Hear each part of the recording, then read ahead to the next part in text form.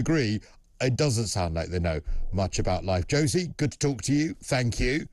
But uh, as promised, let's now cross live to the CEO of Fair Money, personal finance and credit expert, Dr. Roger Gewolb. Morning to you, Dr. Roger.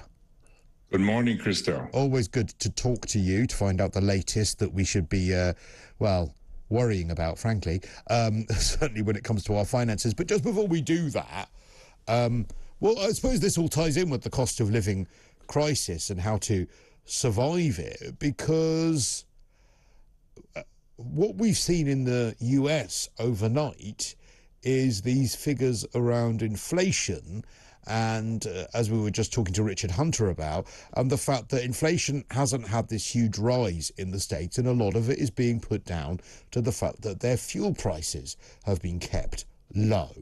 Um, what lessons could we learn on that here in the UK regarding our cost of living crisis? That's an excellent question, Christo. Um, yeah, I, the answer is there's a big answer, and the answer is petrol.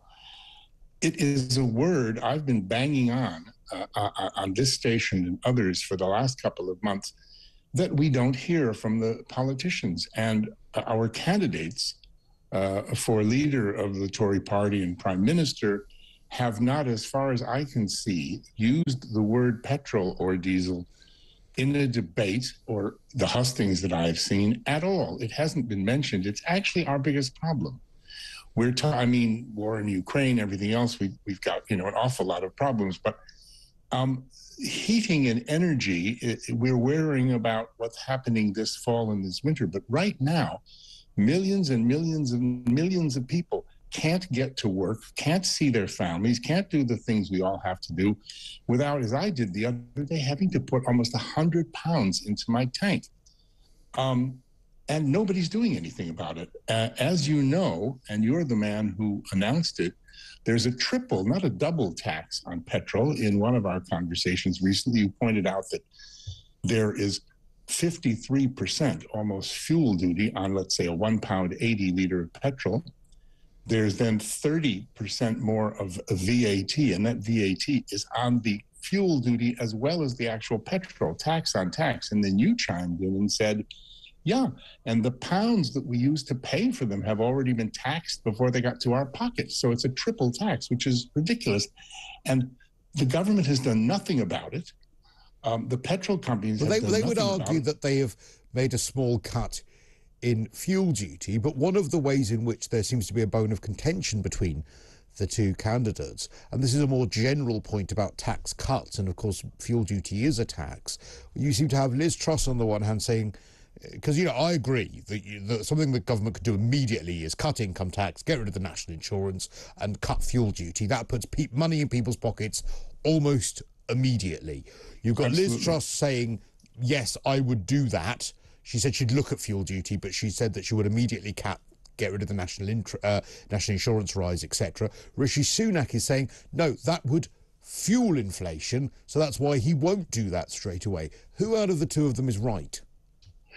Uh, neither, I think. The point is oh. that that's, that's not great news. great. Uh, no, I'm, I'm afraid it doesn't look good. It doesn't look good. And then we've got Boris weighing in, doing kind of a, a David Cameron post Brexit disappearing act. I mean, I wonder if if if Boris is going to be seen soon at garden centers looking at sheds, and he said, "I'm not going to get involved," uh, and this will Which have to wait till September and maybe and maybe even October, and then and then last night yesterday afternoon late and last night we now have i love this one. This this is the one that's really got steam coming out of my ears. Oh, we've got the energy companies saying come the 26th of august when we announce the price cap that's effective in october we're going to start increasing your direct debits in order to protect you. Now i want to know when you take my money and hold it without paying me interest and you you have the billions and trillions from the British public in your bank account that you took out of mine that you don't need, and my account is in credit. My account with the gas company was once in credit three thousand pounds. I wow. hadn't noticed they'd taken that from me. When you do that, how? Um, what kind of idiot people do they think we are to believe that this is to protect us and smooth things out? do you know what? One of the one of the best do? things you could do is get, get well, the best thing account. you can do the best thing you can do is Google my surname, Gewolb, G E W O L B, and the words direct debit, and you will see a video Yes. that I made some time ago about how to handle direct debits. Most people think direct debits are controlled by the energy company. They're not, they're controlled by you. They're an accommodation.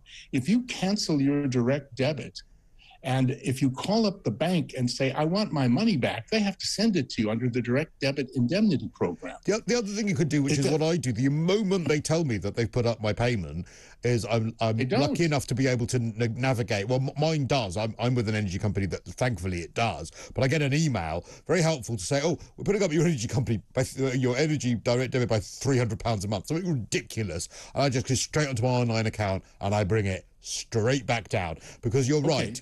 I'll be in debit with them. They're not going to be in debit with me because Well, they, okay, they can afford except it. That, except that Ofgem has, has, after being pushed, has finally gone after five or six companies that aren't even telling people they've done it. Yeah, that's It's, terrible. it's just that's it's, outrageous. It's, it's outrageous. So, so the number one thing to answer your question is, we can do something about the cost of petrol, which at the moment is our biggest problem. The heating of the house and the water is going to come later in the year. Now, why is it different than the states? Because they have a different set of circumstances, and the inflation factors there are, are not the same. Uh, the wages growth is higher than here, so they have more of a reason to raise interest rates. We were wrong for the Bank of England to raise interest rates. Nouriel Roubini, uh, the uh, very famous American economist, even said yesterday that even the states will regret raising interest rates. It's the wrong thing to do in this kind of inflation where it's not being driven by consumer demand. He said they have set a trap for themselves. And uh, many people here, uh, Alex Brummer, the city editor of the Mail, said that the blundering Andrew Bailey of the Bank of England and his colleagues will regret raising interest rates. And they'll probably have to go set them back down again. Yeah, because of the So fact that it will put people under more pressure and possibly create a, refre- a, a, a recession. Listen, we've got one minute to tell me about stagflation. If we weren't upset enough about inflation, what's stagflation and what's happening? Well, well, I I have a friend. He's a, he's a medical, a doctor friend, who called me up the other day and said, "Listen, Roger, what's Flag Station? I heard it on the radio." I said, "Flag Station." So I started to Google it, and then I thought, I said, "Wait a minute, are you talking about stagflation?" Huh. And he said, "Oh yeah, that might be the word." so stagflation is is is is the long COVID of economics. Stagflation is where you have persistent long uh, low growth and long inflation, and it just lasts forever. And you know, in the case of long COVID uh, economics, the Bank of England uh, is the Wuhan laboratory, I'm afraid. And if it comes here, as Roubini has said it has in the States, we're in real trouble. And everything that's happening now with the energy companies pushing people even more uh, with their direct debits, with the interest rates, why should you pay more money? I get it. So we, we, it could be on the horizon for us to. Roger Gewolb, thank you very much. As always, that's Dr. Roger Gewolb. In the next 30 minutes, we will.